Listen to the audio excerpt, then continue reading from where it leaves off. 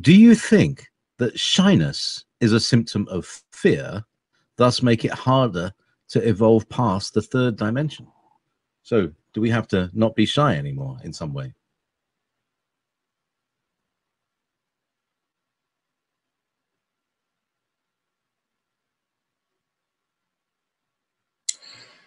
Um, you know, this might surprise you, but I can be very shy. But I don't see it as fear. I just see it as a being vulnerable. But I don't move into fear um, when I'm I'm shy. I mean, if I if I'm in that space of being shy, I'm shy, and it doesn't matter. And it's only because I'm feeling vulnerable for whatever reason. But I don't see being vulnerable uh, as a weakness in any way, shape, or form. Uh, I just I see it as just being open.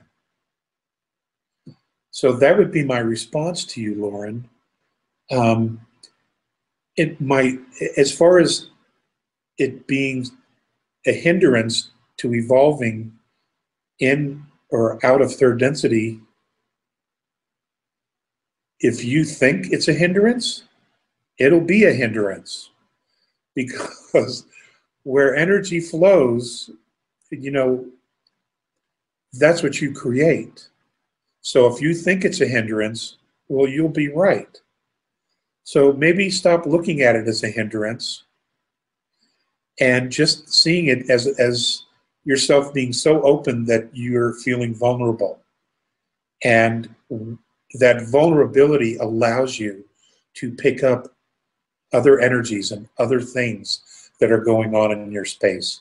And to me, that's a strength. And it should always be a strength. That's how I see that. So picture it more as a sensitivity than shyness or fear.